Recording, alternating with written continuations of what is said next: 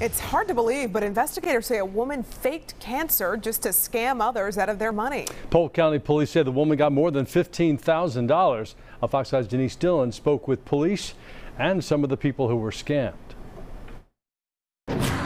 The money was coming in from all different places. Police say Katie Shellhorse hosted her own online fundraisers. Friends and strangers chipped in.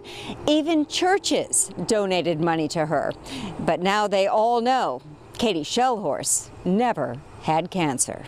Anytime, you know, somebody in our community, especially in a small town, anybody who lives in a small town knows, um, anytime that somebody's diagnosed with cancer, everybody kind of comes together um, just to show support. That's, you know, pretty much what, what small towns do. And when 22-year-old Katie Shellhorse announced she had cancer last summer, people in Cedartown and beyond pitched in. And I was like, oh my gosh, like she just had a baby and now she could potentially be dying. Like that's so sad for her and her kids. Friends, strangers, even churches donated what they could.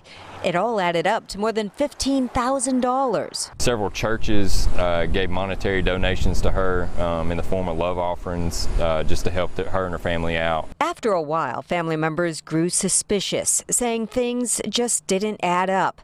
They confronted her. They say after admitting it was all a lie, they convinced her to go to police to admit what she had done. She was charged with felony theft by deception. Family members gave me a statement that says, We had no foreknowledge of her plan to misguide and will not defend it. We are deeply saddened that our community was deceived. The victims are, you know, the people who gave her money, um, donated money to, to her cause, uh, so to say. Um, but the true victims are people who, you know, really do have cancer um, and that do need financial support. Um, and, you know, are depending on basically the help of the community to get through a, a tough time.